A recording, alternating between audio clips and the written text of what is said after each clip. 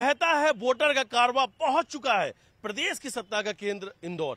इंदौर की जनता से पूछेंगे सवाल, किन मुद्दों पर करेगी मतदान? कांग्रेस किन मुद्दों पर लड़ेगी चुनाव? तो बीजेपी किन उपलब्धियों पर बनाएगी अपना जीत का रिकॉर्ड?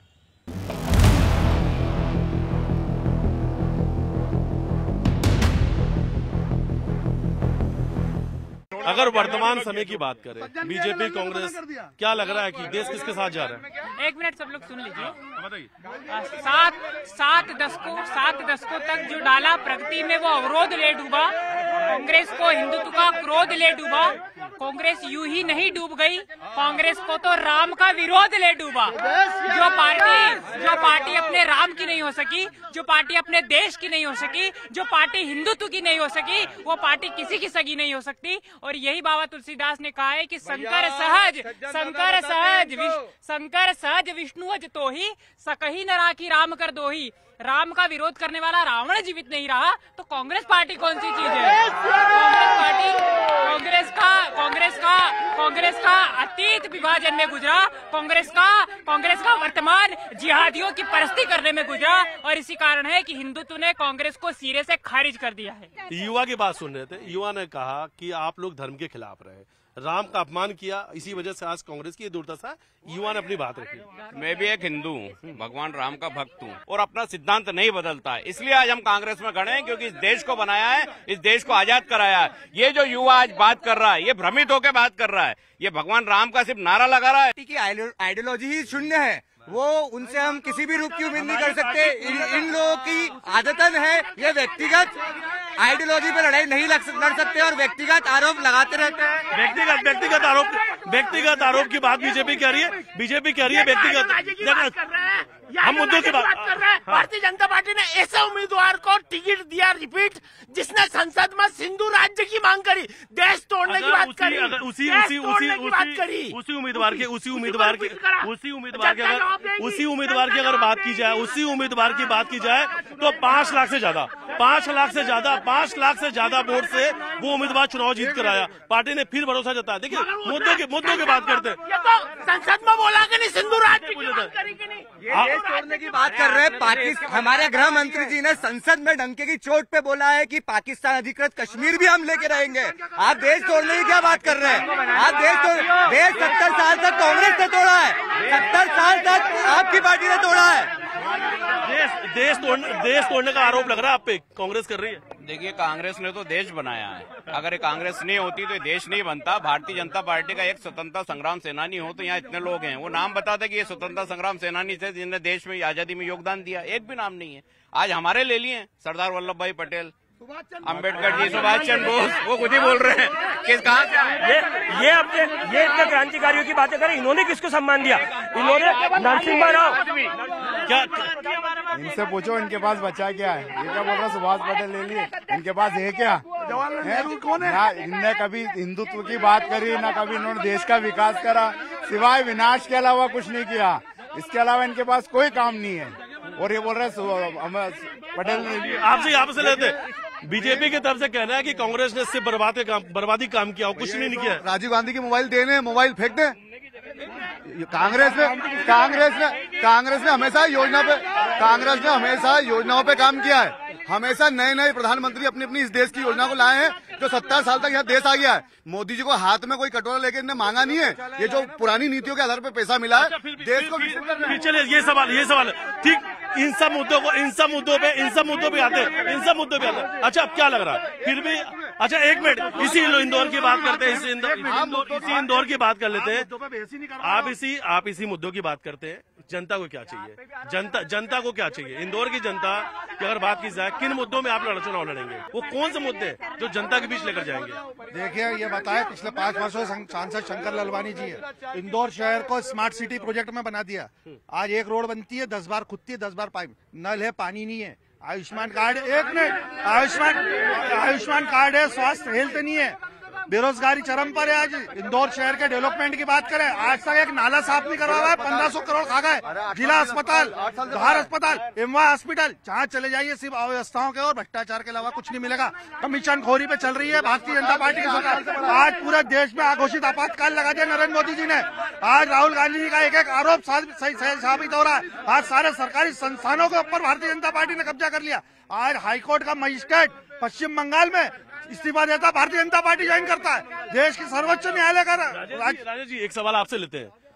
जो इन्होंने बात की कि विकास को लेकर तेजाज नगर के आसपास की ऐसी कई कॉलोनियाँ आउटर रिंग रोड की हम बात करते हैं ऐसी कई कॉलोनियाँ जहाँ पर अभी भी पानी नहीं है। स्वास्थ्य व्यवस्थाओं को लेकर उन्होंने बात किया युवाओं को शिक्षा को लेकर बात कर रहे हैं रोजगारी को लेकर कांग्रेस आरोप लगा रही है। क्या ये कुछ दे पाई बीजेपी? पंद्रह साल पहले, बीस साल पहले की कांग्रेस का शासन देख लो और पंद्रह साल के अंदर भारतीय जनता पार्टी का शासन देख लो। आपको हर चौराहे, हर गली मोहल्ले से लेकर नई नई कॉलोनियाँ और गाँव गाँव में सड़क जुड़ गई। है क्या विकास की बात करते जिनके जिनके राज्य में हमारे को सड़क सड़क ढूंढना पड़ती थी गड्ढों में, आज ये विकास की बात कर रहे हैं, शौचालय की बात कर रहे हैं? आप आप ये बताओ बाईपास के बाईपास से लेकर पहले पहले देवास जाने में घंटों लग जाते थे। 20 मिनट में आदमी देवास पहुँचता है। ये विकास है भारतीय जनता पार्टी का। रोज़गार की बात कर रहे हैं और हॉस्पिटल की। अगर ये अस्पताल की बात कर रहे हैं तो बड़े बड़े अस्पतालों में आयुष्मान कार्ड से पाँच पाँच लाख का इलाज हो रहा तुम, तुम्हारे कांग्रेसी सारे लाभ लेते हैं। सारे लाभ कांग्रेसी ले रहे हैं। कहाँ ये बात कर रहे हैं? हाँ हाँ सर, मुझे बताइए कि मध्य प्रदेश में शिवराज सिंह सरकार की जब सरकार चल रही थी, उस उस समय उस समय शिवराज सिंह चौहान ने कितनी परीक्षाएँ ली? पटवारी से लगा के टीचर तक की कितने घोटाले हुए? आज तक उसको उन घोटालों को छिपाने के लिए शिवराज सिंह चौहान को हटा करके यादव को बनाया गया। इसका मतलब है कि बीजेपी कहीं डर रही है। अपने आप में डर रही है। बात करती है और मंदिरों का व्यवसायीकरण। महाकाल मंदिर का व्यवसायीकरण कर दिया। एक भक्त को भगवान से दूर करने का पाप भाजपा ने करा। आज महाकाल मंदिर में गर्भगृह के अंदर एक आम आदमी दर्शन नहीं करने जा सकता। भगवान राम को दूर करने का काम बीजेपी कर रही है। कांग्रेस का कहना है हमने हमने हमारी पार्टी ने ये राम को दूर करने का काम कांग्रेस पार्टी ने करा हुआ है। जिस पार्टी ने जिस पार्टी के लोग राम मंदिर के मुद्दे में पार्टी छोड़ के जा रही है वो हम पे आरोप लगा के पूछ रहे हैं कि राम को से को दूर भाजपा कर रही है। देखिए ये इतनी देर से एक ही सवाल है इनका कि बीजेपी ने किया क्या है? आप बीजेपी के नाम पे देख लीजिए देश का गौरव बढ़ाया बीजेपी ने इन्होंने सवाल उठाए उस पर भी। सेना का गौरव बढ़ाया बीजेपी ने इन्होंने उस पर भी सवाल उठाए। धर्म का गौरव बढ़ाया उस पर भी इन्होंने सवाल उठाए। आज हिंदू मुस्लिम सिख ईसाई सबको एक करने का काम कर रही है। मोदी सरकार के अलावा आज तक आपने कुछ करा। सीए का विरोध इनको चाहिए एनआरसी का विरोध इनको चाहिए इनको सब चीज़ का विरोध चाहिए।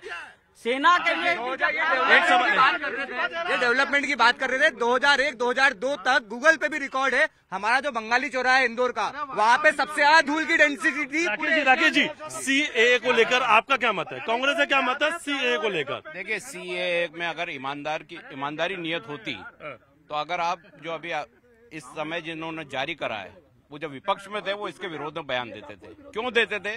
क्योंकि देश में एक समानता की धारा आपको लागू करना है। आपको धर्म के आधार पर ये विभाजित नहीं करना है। अगर कोई भी आएगा, बाहर से, और शरणार्थी है, उसका धर्म कुछ भी है, अगर नियम है तो सबके लिए, सिर्फ़ हिंदू, मुस्लिम में डिवाइड करके वोट का फ़ायदा उठाना ये गलत है। आप सीए को लेकर आप क्या क्या क्या करना है? ये ये जब बीजे ये सारे बीजेपी ने जब कांग्रेस ला रही थी तो सबसे पहले विरोध करने वाली कौन पार्टी थी? बीजेपी थी। बीजेपी ने नहीं लाने दिया ना आज बीजेपी कह रही वो सही है। जो आधार कार्ड का विरोध किसने करा? बीजेपी ने। जब कांग्रेस ला रही थी तो सही थी। अब जो जो जो कांग्रेस लाती है क्या क्या कहेंगे आप? सीधी सी बात है। इलेक्ट्रल बॉन्ड में जो रिश्वत करोड़ रुपए की भारतीय जनता पार्टी में चंदा गया है उसको छुपाने के लिए आज सीए का शिकुपा छोड़ दिया गया। क्यों भैया? गैर मुस्लिम क्या गैर मुस्लिम आ- प्रताड़ित आपको लगता है कि सीए देश हित में निर्णय है कि नहीं है? आप उस निर्णय को देखिए। सीए को लाने की ज़रूरत ज़रूरत क्या पड़ी आज? इलेक्ट्रल बॉन्ड सामने था। क्यों? इलेक्ट्रल बॉन्ड की सच्चाई छुपाने के लिए आज सीए को सामने लिया। आप ये कैसे प्रमाणित सीए हो धार्मिक आधार पर नहीं होना चाहिए। सीए भैया वहाँ पर जिन देशों से जिन देशों जिन देशों से आने वाले लोगों को नागरिकता दी जा रही है सीए के अंतर्गत वो सारे देश मुस्लिम देश हैं। अब मुस्लिम देश है तो वहाँ से अगर मुस्लिम कैसे वहाँ पर, उन पर कैसे अत्याचार हो सकता है? क्योंकि वो तो उन्हीं का देश है। भाई, वहाँ पर दूसरे धर्म के लोगों के साथ अत्याचार हो रहा है, जो वहाँ पर परेशान होकर वहाँ से जब यहाँ पर आए हैं, और 2014 तक जो लोग आए हुए हैं पहले से, उनको नागरिकता दी जा रही है। ये और एक एक एक एक एक एक एक बड़ा बड़ा बड़ा इस, इसके बाद लेंगे इसके बाद लेंगे। आप आप बड़ा आरोप लगा रहे हैं बड़ा आरोप लगा रहे हैं। बिल्कुल बड़ा आरोप है। जिस देश में हिंदू धर्म है हिंदुओं पे इतने अत्याचार बलात्कार होते हैं। राकेश यादव का कहना है कि बीजेपी हिंदुओं पर ही इसी बीजेपी की शासन है और हिंदुओं पर ही अत्याचार हो रहा है हिंदुस्तान में। वो भी हमारे हिंदू भाई है, उन पर डिपेंड नहीं करना मतलब ये कि अपने भाइयों पे डिपेंड नहीं करना। उनको खुद को मालूम है कि आज आप जब से मोदी सरकार बनी है, जब से शिवराज जी की सरकार रही है, कभी हमारे मध्य प्रदेश में दंगा नहीं हुआ। नहीं तो इनके दिग्विजय शासन काल में कभी चंदन नगर में भाटा बिक गया कभी आज़ाद नगर में पत्थर बिक रहे, और हिंदुओं के ऊपर इतने केस लगाते थे जब ये कांग्रेस सरकार में। अब अब एक भी भाटा नहीं बिक रहा क्यों? क्योंकि हिंदुत्व की सरकार है और हिंदुओं के काम करती है। और ये कहीं ना कहीं कहीं ना कहीं जो हिंदुओं का ये हिंदुवादियों को इनके मारा इन्हीं का शासन था जो हिंदुवादी नेताओं को दौड़ा दौड़ा के मारा। इन्हीं का टीआई थे इन्हीं की गवर्नमेंट थी। सीए की बात कर रहे हैं। शायद इनको मालूम नहीं 2014 के बाद तेरह लाख पिछहत्तर भारतीयों ने अपनी नागरिकता भारत से त्यागी ये आपके सुब्रमण्यम स्वामी की तरह। सब शाहरुख खान जैसे अनवर अपने आमिर खान जैसे लोग हैं जिन लोगों ने त्यागी है। स्वामी कह रहे हैं। भाई साहब आपको लगता है भाई साहब आपको लगता है कि जो सीए है इस बार चुनावी मुद्दा होने वाला है। क्या इसका चुनावी बेनिफिट लेना है? जनता पार्टी केवल लाभ के लिए ऐसे मुद्दे लाती है। सीए सभी धर्म के लिए लागू होना चाहिए। हर धर्म के लिए आप, इसके पक्ष में है कि विरोध में? क्या? आप पक्ष के विरोध में? धर्म के लिए ये लागू होना चाहिए हमारा तो ये। सभी धर्म के लिए रहेगा हम बिल्कुल पक्ष में बिल्कुल सभी सी ए सी ए को लेकर कहना है कि सभी धर्म के लिए होना चाहिए। सीए सभी धर्म के लोगों को अलग देश दे दिया है उन्होंने खुद ने मांगा हमार हमको हमारे धर्म का देश चाहिए। जब उनके धर्म के हिसाब से उनको देश दे दिया गया है तो फिर उनके उनके लोगों को क्यों यहाँ पर नागरिकता दी जाए? एक एक आज जो सीए का विरोध कर रहे पश्चिम बंगाल के अंदर बांग्लादेशी बांग्लादेशी रोंगे लोग घुस गए। इनको कोई फ़र्क नहीं पड़ा। इनका शासन था। आज ममता बनर्जी जब बेरोजगारी नहीं बढ़ रही जब बेरोजगारी नहीं बढ़ रही क्या? बेरोजगारी भाई वो लोग आगे ले रहे हैं काम धंधा कर रहे हैं। उनको काम मिल गया। जब इनको चिंता नहीं थी कि बेरोजगारी होगी देश के अंदर। एक आखिरी सवाल एक आखिरी सवाल एक आखिरी सवाल एक आखिरी सवाल। बीजेपी कह रही है बीजेपी कह रही है राम मंदिर का निमंत्रण। कांग्रेस के कई नेताओं ने ठुकरा दिया। क्यों नहीं? क्या ठुकराया? देखिए वो राम मंदिर प्राण प्रतिष्ठा समारोह भारतीय जनता पार्टी और आरएसएस का प्राइवेट इवेंट था। अधूरे राम मंदिर को बना के चुनावी फ़ायदा लेने के लिए भारतीय जनता पार्टी ने वहाँ पे आनंद फानंद पे हमारा आरोप यह था देश के शंकराचार्य को चारों शंकराचार्य को निमंत्रण चुनावी फ़ायदा चुनावी फ़ायदा बीजेपी जो ऐसी पार्टी का क्या भरोसा जो राम जी का न राम जी का आमंत्रण टुकरा दे। ये ये ये क्या बाबर की औलाद है ये लोग जो राम जी का आमंत्रण टुकरा रहे ये ये शंकराचार्य कांग्रेस के पिट्ठू है।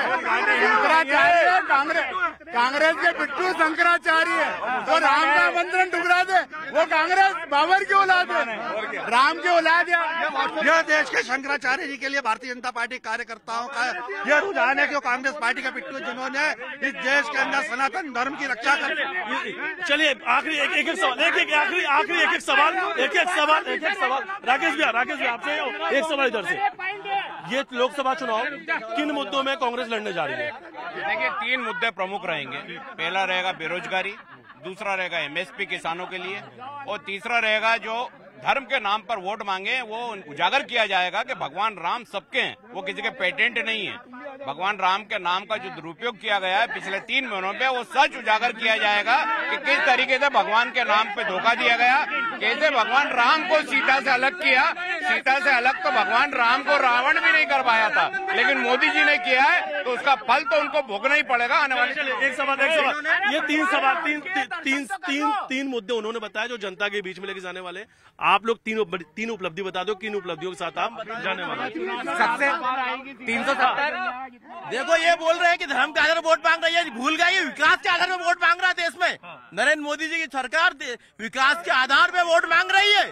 और हम हम भारतीय हमारा सारा हिंदुस्तान है, इसलिए हम धर्म का नाम लेते हैं। इसलिए हम धर्म का नाम लेते हैं, हम हिंदुस्तानी है, भारतीय मुद्दों पे रहेंगे, मुद्दों बात करेंगे, मुद्दों भी बात करेंगे। उन्होंने कहा तीन मुद्दे। मुद्दे के बाद चलिए इंदौर की जनता को क्या चाहिए? इंदौर की जनता को क्या चाहिए? इंदौर की जनता सुनो। रेल रेल जो दस वर्षों से केंद्र सरकार ने निष्कर्षीकरण कर दिया सीनियर सिटीजन की सीनियर सिटीजन की रियायत छीन ली रेल तक नहीं दे पाए इंदौर से दाहोद की सबसे शर्मनाक बात नरेंद्र मोदी जी में बोले। की बात सर मैं मैं भाजपा रेल की बात करते हैं। हम यूपीआई हम यूपीआई की बात करते हैं। पी चिदम्बरम जी ने संसद में इस चीज़ का मज़ाक उड़ाया था कि आप सब्ज़ी लेने जाते हो दस रुपए का धनिया और आलू खरीदोगे तो क्या वो यूपीआई करेगा? आज एफिल टावर तक भी यूपीआई से पेमेंट लेके टिकट खरीद के आप ऊपर जा सकते हैं। हम सिर्फ़ राम राम नहीं करते हम काम भी करते हैं। ये इंदौर के मुद्दे की बात कर रहे हैं है आज ही मोदी जी की गारंटी डूबी है पेटीएम बंटा डाल हो गया। वापस बंद हो गया। हो कल आखिरी है। इंदौर के इंदौर के स्थानीय मुद्दों की बात हो रही है। 2000 के पहले का इंदौर और 2000 के बाद का इंदौर आप खुद हेलो एक मिनट एक मिनट। अरे एक मिनट। पृथ्वी जल आकाश और पाताल हर जगह विकास करा मोदी जी ने।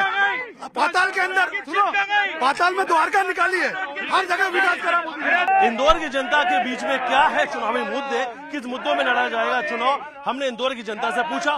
बहुत जल्द मिलेंगे हम नए लोकसभा से। वीडियो जर्नलिस्ट संजय बुआ साथ मिथिलेश गुप्ता न्यूज़ एटीन इंदौर।